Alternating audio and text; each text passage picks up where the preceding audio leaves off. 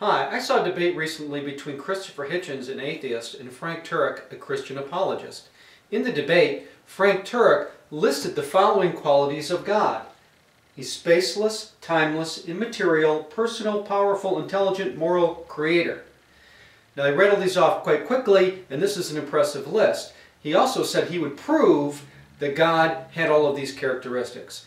Well, I started thinking, I'm an engineer, and some of this really didn't make sense to me.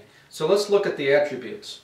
The first three, spaceless, timeless, and immaterial, are really just negations. They're telling us what God is not. He's not operating within space. He is spaceless. He's not operating within time. He's timeless. And he's immaterial, which means he does not consist of mass or energy. But instead of going through all the rest, let me just jump right to the aspect of powerful.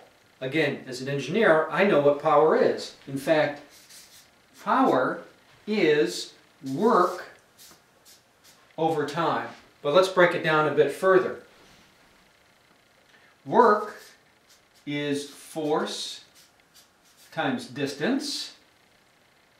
Force equals mass times acceleration. Acceleration is velocity over time. Now I know it's change in velocity over the change in time, but let's keep it simple. And velocity is the change in distance over time. Now if you put all of these together, power equals mass times distance squared over time cubed. Now if it doesn't seem obvious to you at this point, you can see the problem. Mass but he's immaterial. Distance, which is an aspect of space, but God is spaceless. And time is just time, but God is timeless.